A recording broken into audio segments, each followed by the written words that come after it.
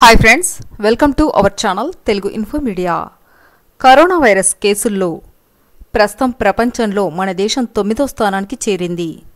ఇక జూన్ తర్వాత నుండి మన దేశంలో రోజుకి యాభై వేల కేసులు నమోదయ్యే అవకాశాలు ఉన్నాయని నిపుణులు హెచ్చరిస్తున్నారు.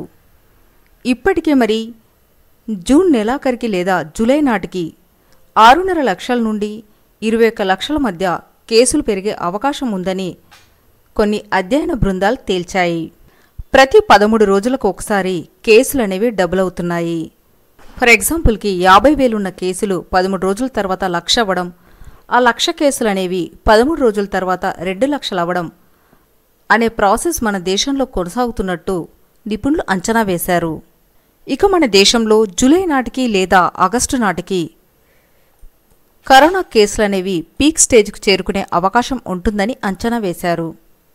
ఇక జూలై అంతం నాటికి లేదా ఆగస్టులో రోజుకు యాభై వేల కేసులు నమోదైనప్పటికీ ఆశ్చర్యపోవాల్సిన అవసరం లేదని అందుకు కారణం ఇప్పటికే సడలించిన కొన్ని అంశాలు. లాక్డౌన్ సడలించటం మరియు రైలు మార్గాలు మరియు విమాన మార్గాలు బస్సు మార్గాలను ప్రారంభించడం అనే అంశాలతో కేసులు విపరీతంగా పెరిగే అవకాశం ఉంది.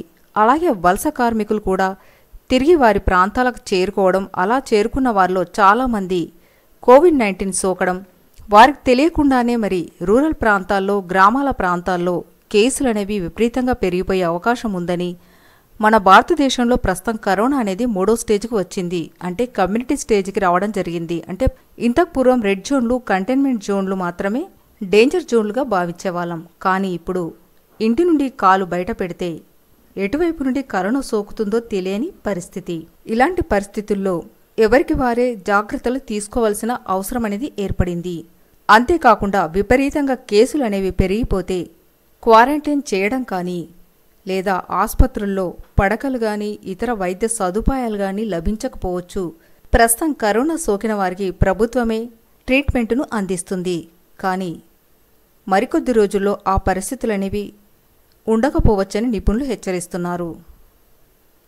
ఇలాంటి పరిస్థితిలో కరోనా సోకి అందులో నుండి బయటపడడానికి చికిత్స తీసుకుంటే దాదాపు మూడు లక్షల వరకు ఖర్చు అవుతుందని వైద్య నిపుణులు చెప్పడం జరుగుతుంది.